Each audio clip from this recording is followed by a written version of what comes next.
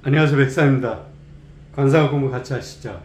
오늘은 이 사람의 상에 대해서 한번 살펴보겠습니다. 2020년 11월 기사 내용에 나온 내용입니다. 이때 당시가 26세고요.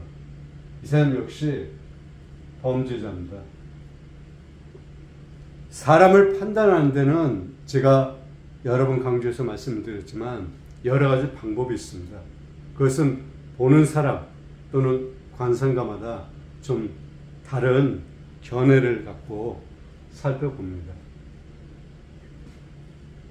사람을 딱 살펴봤을 때 이 사람이 후중지상 묵직하고 중후한 맛이 있는지 또는 위맹지상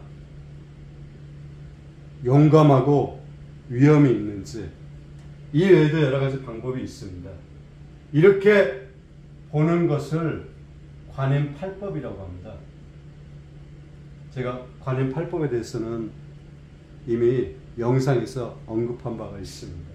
이 관행팔법을 또 언급한 이유는 사람을 살펴보는 데 있어서 굉장히 중요합니다. 상을 이목구비에 자세히 모를 경우 나는 봤는데 잘 모르겠다. 그러면 이 관임팔법을 한번 살펴보십시오. 사람을 처음 딱 봤을 때 어떤 느낌이 드는지 우리 주변에서 많이들 보고 아, 저 사람 인상이 어떻다. 저 사람은 어떨 것이다. 이렇게 판단 내려가지 말씀도 하시죠. 그게 다 관임팔법에 들어있는 내용입니다. 한번 보십시오.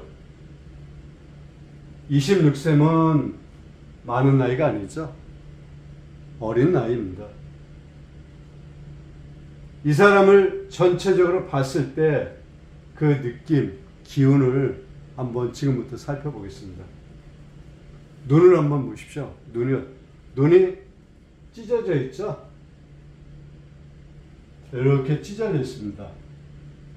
눈꼬리가 올라가 있죠?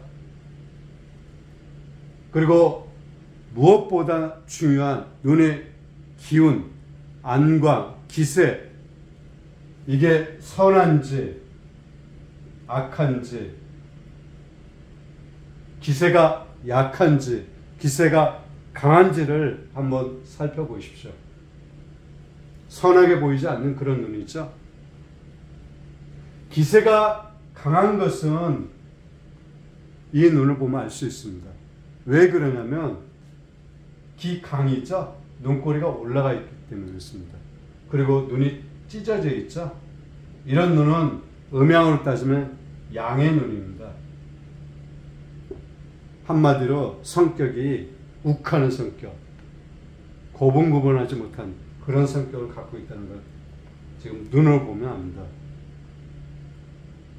이렇게 사람을 살펴보는 데서 첫째, 전체적인 기운을 살펴보시고 그리고 눈을 살펴보십시오. 눈에 그만큼 중요한 것입니다. 다른 부위가 좀 관상학적으로 떨어진다 해도 눈만 좋으면 이 사람은 성공할 수 있고 한 자리 할 수 있는 그런 사람입니다. 사회적으로 능력을 갖춰 있고 어느 정도 위치에서 살아갈 수 있다는 그게 바로 눈입니다.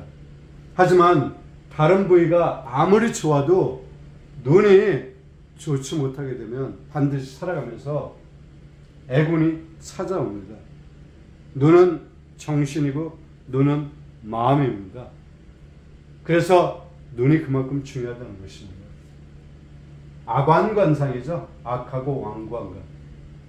그리고 세속적인 관상입니다. 세속적인. 이런 상을 갖고 있는 것입니다.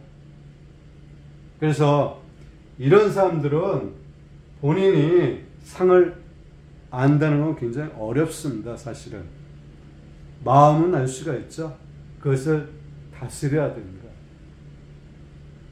그렇지 않게 되면 그 마음이 용수철처럼 올라와서 어디로 튈지 모릅니다.